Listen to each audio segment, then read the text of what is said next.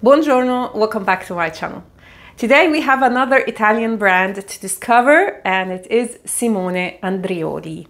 Now this brand got a lot of hype recently, I would say, especially that it is not a very old brand. So since about two years, everybody is like obsessed with this brand. And I have tested some fragrances in my previous Testing Hyped Up Niche fragrances.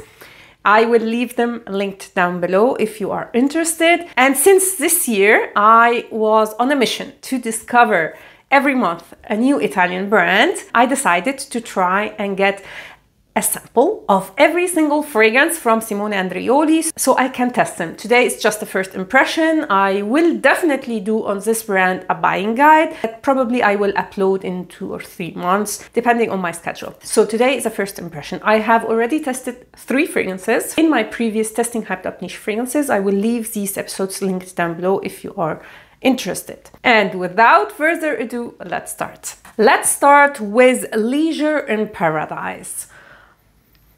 And it was not a surprise for me that people really, really love this scent because it is a tropical, sweet vanilla scent. And this is uh, like a DNA that is very, very popular.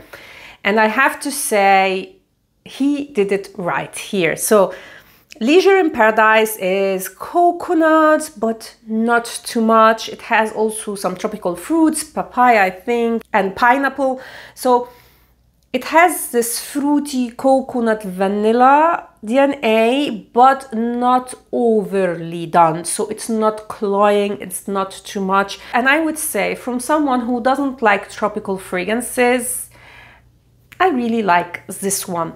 So this one gets a thumb up uh, for me.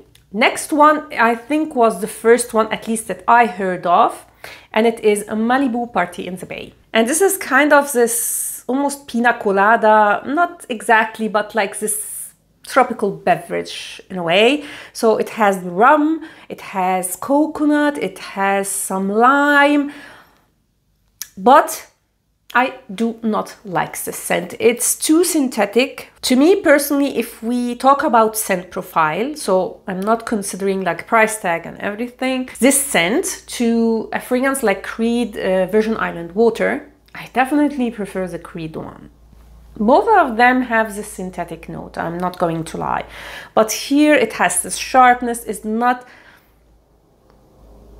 really my vibe, I have to say. I get it that it got a lot of hype because again, it's a DNA that a lot of people really, really love.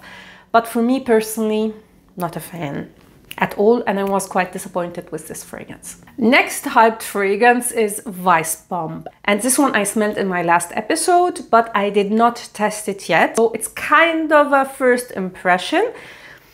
This is a cherry fragrance. Cherry is very popular. Uh, again, a very, very popular mass pleasing DNA. This one I like. So one of my favorite fragrances of all time is Lost Cherry. And I also really, really love the one from Kayali, Burning Cherry. This one, like the Malibu Party in the base. there is some sharpness here that I don't like. Is it a bad fragrance? Absolutely not. And I may warm up to it eventually because I love cherry in fragrances and it's a good cherry fragrance. I'm not going to say otherwise but just not the best, let's say. It has a caramel touch, so it's sweet, it's cherry. Of course, we have the vanilla and it's a little bit ambery, but I don't know. There is this sharpness that I don't like about it. But still, uh, as I said, I didn't test it yet on my skin like more than once uh, to have like my final thoughts on this fragrance. Now, these were the fragrances that I've tested. Now, let's get to all the samples. So a lot of fragrances that are just first impression. I already pre-sprayed everything and I'm going randomly here. Next is Pacific Park. Mm, and the same vine like Malibu Party in the Bay, like Leisure in Paradise. It's kind of a tropical fragrance. There is a lot of vanilla definitely here and fruity notes, but more fresh fruity notes. It's not tropical fruits. It is synthetic as the previous two, like Leisure in Paradise and Malibu, but I definitely prefer it to Malibu Party in the Bay. It doesn't have a lot of this sharpness that I got in that one, and it's sweet, but it's not overly sweet, at least for now. I like it. It's a sweet, fruity fragrance with a lot of vanilla and I'm actually shocked that this one doesn't get a lot of hype because it's a very likable DNA and a very mass pleasing one. So this one, although not my vibe, I think I like it. Next we have Moorea. Hmm. Okay, again, we are in the tropical theme.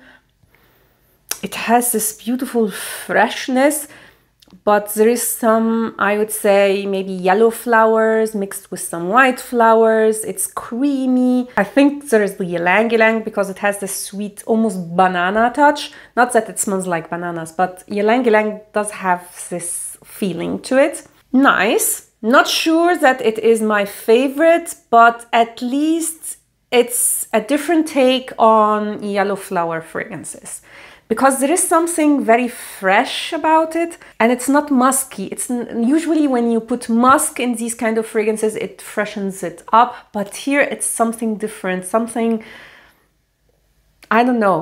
I don't know what it is, uh, and it's not citrusy even. Uh, so I'm quite intrigued, and I will look up the notes for this one. So we have in the top sea notes. Okay, that explains it. Lime, bergamot, neroli, we have ylang ylang, we have tiare flower. That's quite interesting because I'm not a fan of tiare flowers. Narcissus, violet leaves, and in the base we have patchouli, amber, and vetiver. Quite interesting. So the sea note is what gives it this almost sea breeze. Now that I know what is in here, I feel like, yes, it smells like a sea breeze and mixed with this ylang ylang and this creamy tiare flower. Honestly, tiare flower here is not very predominant. It's mostly the ylang ylang. I like it. It's it's beautiful, this, but I love this interpretation of like tropical yellow flower fragrances. So it's definitely a, a different take and I really appreciate that. I think this one may be a winner in the future when I test it, but let's not get ahead of ourselves. Next, we have a fig fragrance and I am quite afraid because fig can go very, very wrong for me. It's one of the notes that I actually like in fragrances, but I don't like very green fig fragrances. So let's see how this one smells Ah, and I didn't say the name, it's Fico Nero di Sardegna, which translates to black figs from Sardinia. Okay, this is quite on the green side, unfortunately, but without the overly sharp edge of like the fig leaf when they put it in fragrances. There is some sweetness, so you get also the fruit, Mm, maybe mixed with some yellow flowers. There's something creamy in the background, but mostly this is fig leaf and and then fig fruit. So it has both of the notes in my opinion. Good balance actually of both of these notes. So it's not overly like fruity fig and it's not overly green fig, if you know what I mean. But I don't think that this is my favorite fig fragrance. Since we spoke about fig, let's take the next one. Zest di Sorrento. Hmm. Hmm. Nice. So it's kind of what I expected, to be honest, because the name says everything. So I expected lemon, I expected maybe some orange blossom or neroli, and it's definitely that. Very simplistic. There is something almost sweet in it, mm, but not much. It's very, very, very faint. So maybe there is some kind of sweet fruit beside lemon and zesty notes and maybe a woody base but I can't really distinguish what kind of woods maybe sandalwood but I can't really say. It's a simple, mm, fresh, citrusy fragrance. It has potential, but not a, like a, a new take on this DNA. So it will depend on the performance of this fragrance to for me for me to decide if it's worth it or not. Because you all know I am a lover of citrusy fragrances and this just isn't, you know, enough for me. The next one is called Sentosa and I think this is the one that is projecting since I've sprayed it. Let's see, I think, yeah. Yeah, it is. Mm, yeah, this is the one. I wish I did test this fragrance before doing my fragrances that remind me of the desert because this one would have definitely be in it. It's ambery, a lot of labdanum, maybe some incense or it isn't smoky, but there is something almost incensey in it a little bit spicy, but not much. It really reminds me of some other fragrance, but I just can't yeah, put my finger which fragrance it is. It's not Shams Oud because Shams Oud has also a lot of labdanum. No, something else. It, it's more on the unisex side and it's like, I would say almost like an introduction into labdanum because labdanum, if it's very predominant, can be quite off-putting to a lot of people like oud, you know, it's a particular note, not for everyone. So it's kind of um, mild labdanum. It's rounded. Maybe there is some vanilla or something or benzoin that, you know, softens the edges of this fragrance. Mm. I like it, but I just know I've smelled something extremely, extremely similar. I just can't say what it is. I like this one and it's definitely something different. So we wear everything, you know, light, uh, fruity, tropical. Now we are getting into Oriental territory. And I like what he did with this one, honestly. Let's get to the next one and it's called Camouflage.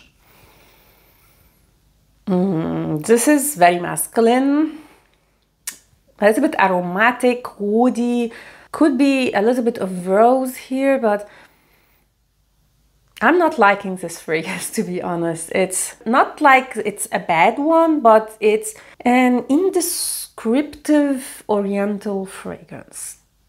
Let's put it like that. And I'm really, really curious about the notes because I can't distinguish. Maybe some rose, woody notes, sandalwood maybe. Mm, I will definitely look up the notes for this one. So we have olibanum, now, olibanum, I have to say, is one of the notes that I can't distinguish easily in fragrances. Uh, maybe because it's a note that I didn't smell a lot of. So my nose doesn't recognize it easily. We have then rose. You got to be kidding me. Oud. Really? Mm, maybe yes, but it's mostly something else. We have ebony. Okay, this is the one. Ebony sandalwood and musk. No musks that I can detect and the wood here is more, I don't know, like a supporting role. I cannot categorize this as an oud. No, now, you know, I'm getting more now the oud. I cannot categorize this like an oud rose combination. It's a woody rose. Mm, I'm, I'm I'm, I'm just not a fan.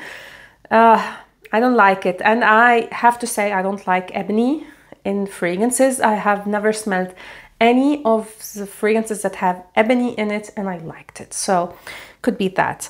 But it's definitely a masculine fragrance, but not special and I wouldn't recommend it. There's so many woody and even rose and wood combination on the market that is definitely better. the next one has quite an intriguing name eternal or eternal.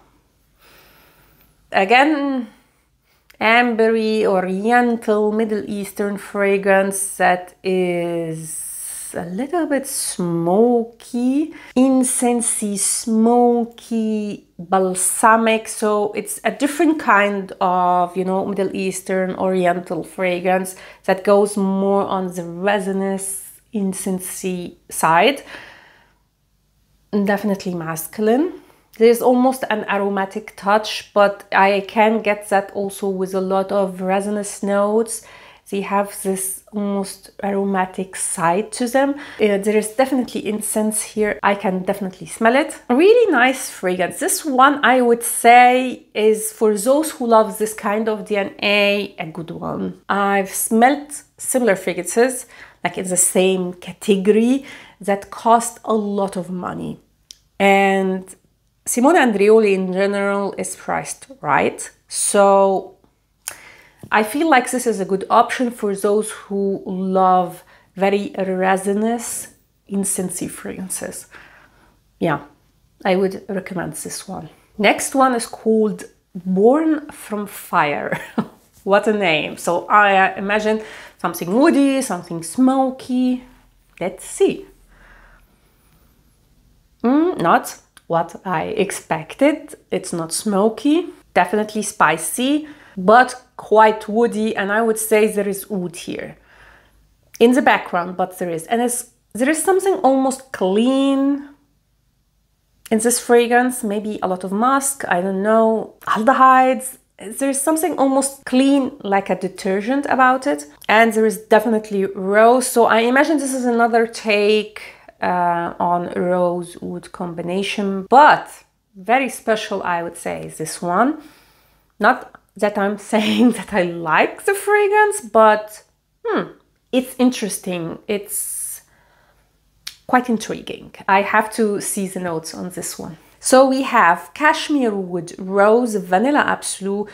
I'm not getting a lot of vanilla for now oud, sugar, amber, amyris, saffron, black pepper, and vetiver. Okay, rose, oud, saffron, cashmere wood, but I'm not getting a lot of vanilla. There is no sweetness that I can detect.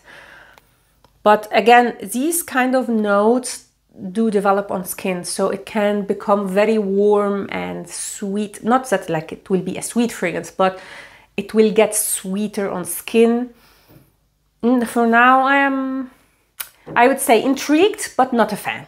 Let's put it like that. And it is quite masculine. Next we have Don't Ask Permission. I love the name. Mm. Okay, now we are getting something more on, I would say, almost tropical, but not exactly. So I get some booziness, again, fruity notes. Mm.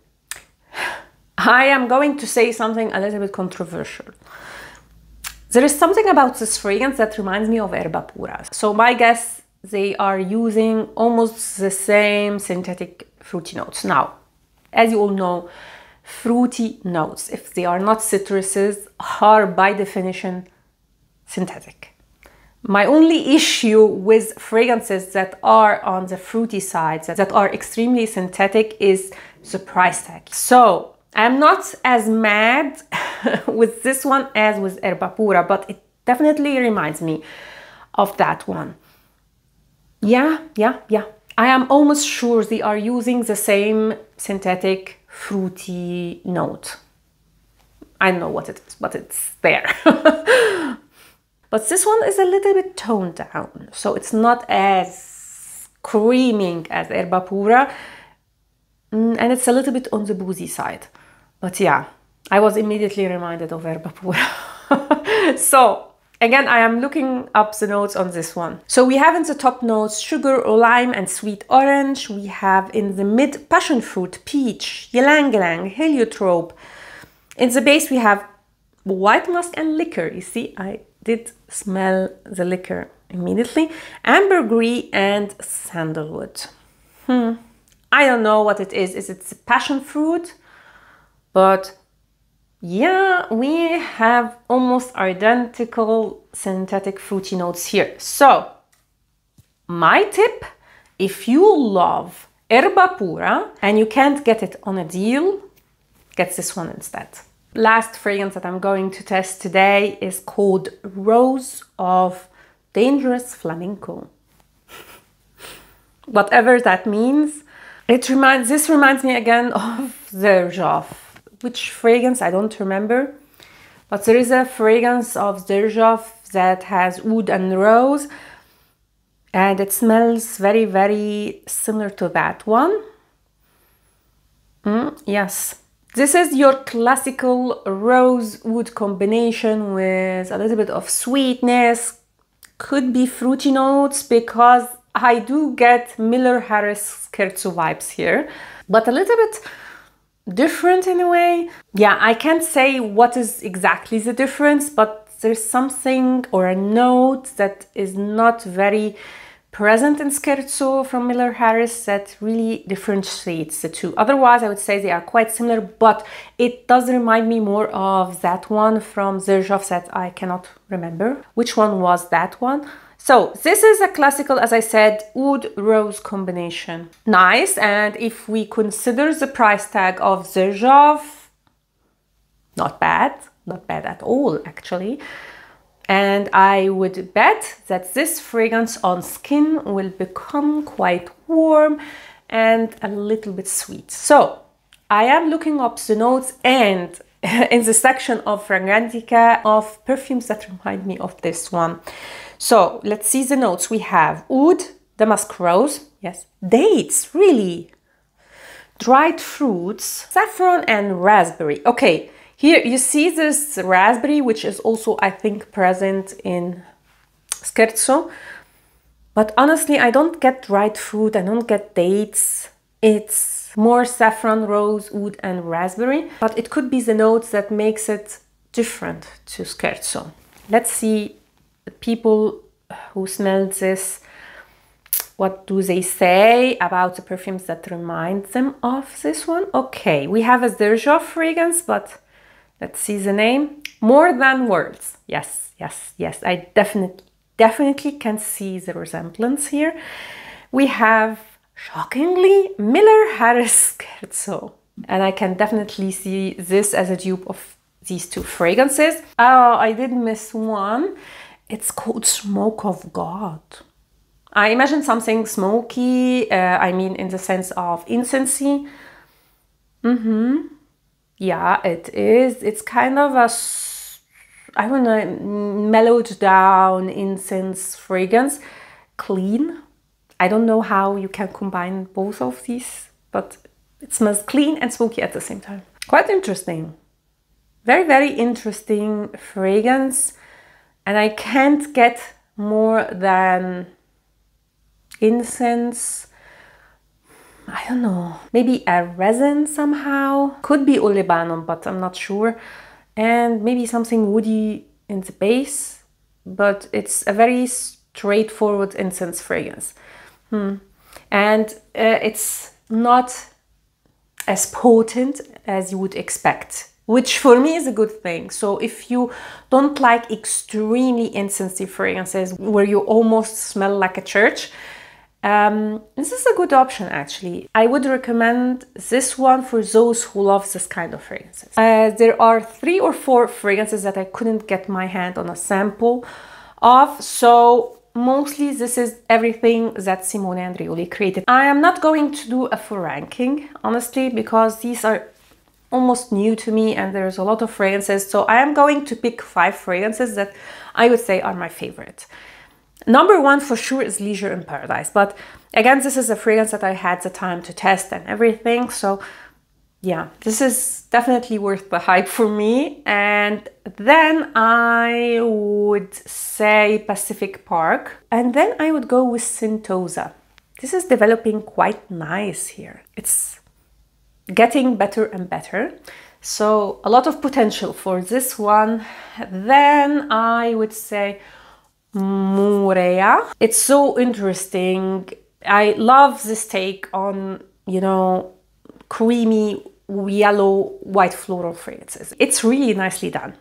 Next, I will go with the Rose of Dangerous Flamenco. And it's not shocking because I do like Scherzo from Miller Harris. And that was it. That was my first impression on Simone Andreoli. Uh, and I have to say I am quite pleasantly surprised because I was expecting something overly synthetic. And there are some that are in this category, but I love how he worked with very popular, you know, scent profiles. So I do really appreciate that and I appreciate that this brand until now at least, is not overly priced. So considering the price tag and everything, this brand I would actually recommend to try. And as I said, I am going to do a buying guide. So don't forget to subscribe and to hit the notification bell.